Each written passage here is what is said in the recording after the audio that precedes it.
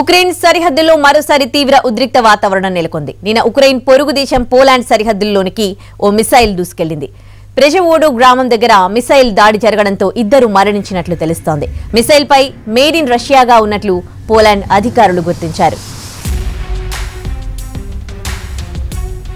ఇక ఈ పరిణామంతో పోలాండ్ జాతీయ భద్రతా మండలి అత్యవసర భేటీ నిర్వహించింది. సరిహద్దులో పోలాండ్ సైన్యం అప్రమత్తమైంది. ఇంకోవైపు పోలాండ్ అధ్యక్షుడు ఆండ్రిన్స్ దుడాతో అమెరికా అధ్యక్షుడు జో బైడెన్ ఫోన్లో చర్చించారు. ఈ ఘటనపై పోలాండ్ నిర్వహించే దర్యాప్తునకు పూర్తి స్థాయి సహకారం ఉంటుందని బైడెన్ తెలిపారు.